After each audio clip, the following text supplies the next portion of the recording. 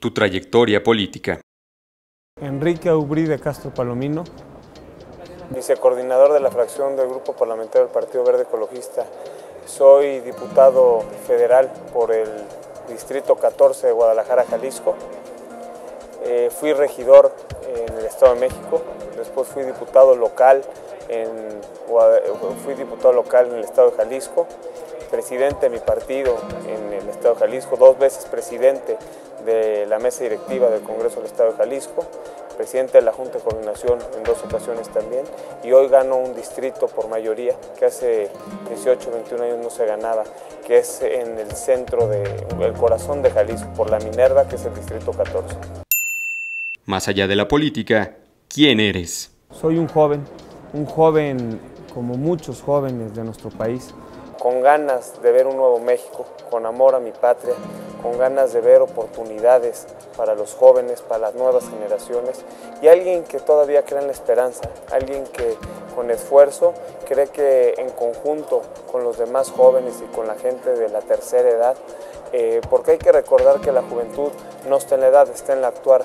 Podemos recuperar esos valores que se han perdido, podemos recuperar esa inseguridad, ese, ese país perdido que muchos creen, lo podemos llegar a recuperar y tener más oportunidades para todos. Eso soy, soy un joven común y corriente, que me gusta el deporte, que me gusta la música, que me gusta ver por mi país y bueno, que soy muy apasionado en lo que hago.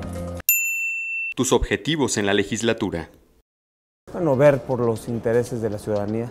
Velar por los intereses de los mexicanos, como lo he venido haciendo por los jaliscienses, y obviamente eh, representar dignamente al Estado de Jalisco en este honorable Congreso de la Unión. Eh, hay muchos muchas problemáticas que tiene mi estado que tenemos que trabajar en conjunto. El tema de seguridad todavía hay tranquilidad, pero si no nos ponemos a trabajar en conjunto se va a perder como se ha perdido en muchos estados de la República tu reforma prioritaria? El tema de la seguridad.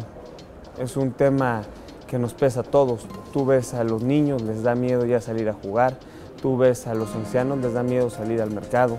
Tú ves al papá, la mamá, pues sale con el miedo de no regresar a su casa.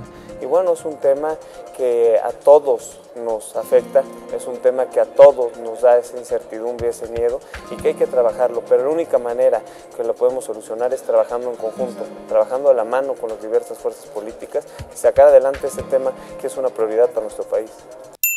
Reelección legislativa, ¿a favor o en contra? Mira, la reelección es un tema a discutir, es un tema que creo que si tú haces bien tu papel y la gente quiere que te quedes, ellos son los que van a decidir y si no, te tendrías que ir. Hay que entender que nosotros somos voceros de la ciudadanía. Tú te debes a la ciudadanía y nosotros tenemos que dejar esa opción al ciudadano que elija y ellos decidan. ¿Por qué los legisladores tienen tan mala imagen? ¿Por qué creo? Porque siempre estamos en dimes y diretes. Siempre uno vela por los intereses personales partidistas y de grupo tiene esa imagen porque siempre estamos en los escándalos. ¿Es justo el sueldo de los legisladores? Mira, si tú trabajas y desquitas tu sueldo... Sí, si no, obviamente que no va a ser justo. Obviamente que la persona que no trabaje y le pagas en ningún empleo va a ser justo, al contrario. ¿A quién le debes tu puesto? A la ciudadanía fui electo a la ciudadanía, pero también la oportunidad que me dio mi partido al representarlo, el Partido Verde, he asumido esa postura del medio ambiente. ¿A qué político vivo admiras? Político vivo.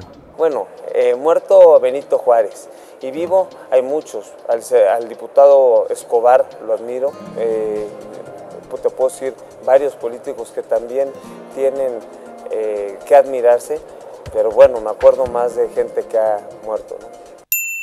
Tres libros que marcaron tu vida. Bueno, El Principito, porque fue el primer libro que lees, El Príncipe de Maquiavelo, El Arte de la Guerra, Los de Abajo.